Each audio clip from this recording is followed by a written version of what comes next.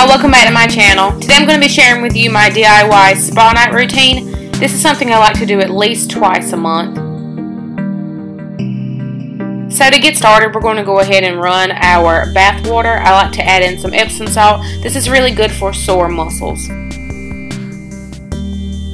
I'm also going to be adding some lavender essential oil. This will make your water smell absolutely amazing, but it's also going to help ease your mind and relax your body. And lastly, I'm just going to add a little bit of my shower gel. This is the Bath & Body Works Eucalyptus Spearmint to the water just to give me a little bit of bubbles. Now it's time to wash our face.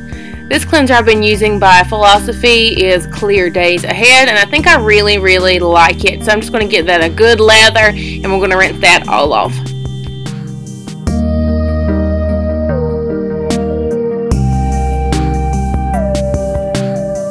We're just going to apply this healing mask. I combined the Aztec Secret Indian Healing Clay and also some apple cider vinegar. I do equal parts of both of them. So I do about a teaspoon-ish size of the clay and also the apple cider vinegar.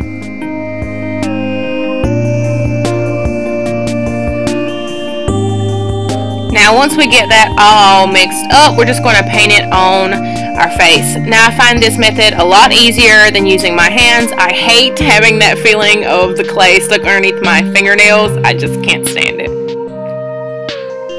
I'll leave this mask on while I'm in the bathtub, but I will rinse it off once I take my shower, so you want to leave it on for about 15 to 20 minutes.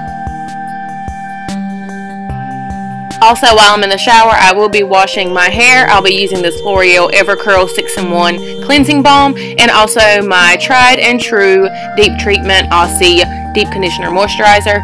And I'll also be doing a body scrub. And nothing makes me more relaxed than listening to music. So I love going to my Spotify to my different playlists that I've created. But this night in particular, I was really feeling some Netflix binge binge watching. So I just picked that 70 show. Dim the lights and light one of my favorite Bath & Body Works candles and it's time to relax. Fresh out of the shower, we're going to go ahead and moisturize. I'll be using this Vaseline Intensive Care Lotion and also mixing it in with some of my baby oil gel. I really like this combination of the two. I feel like it really helps my dry skin, but it doesn't leave me sticky or any kind of leftover residue.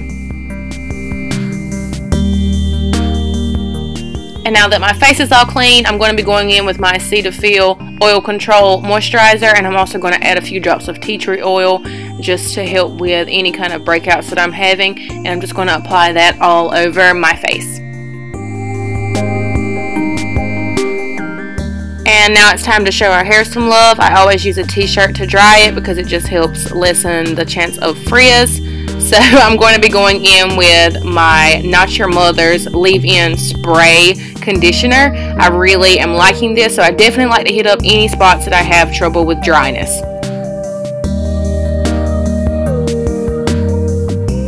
And just to get all my hair out of the way, I like to do a simple French braid.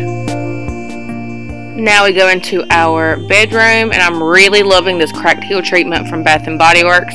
I use it all on the bottoms and most of the top of my feet and I like to put on some nice comfortable fuzzy socks.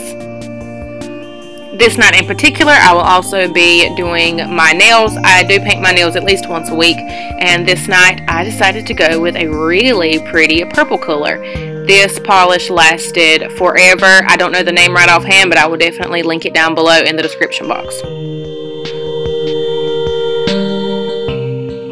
And of course, Lady will not let me wait for my nails to dry by myself. She has to get in on some cuddling action.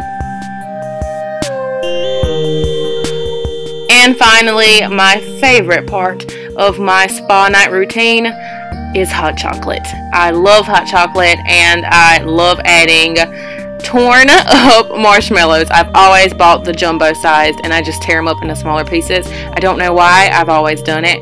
And I'll finish off with watching some more Netflix or in this night particular, I was catching up on some YouTube videos.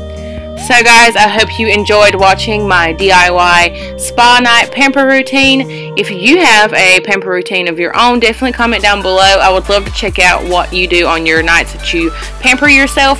Hope you have a beautiful and blessed day, guys. Thanks for watching.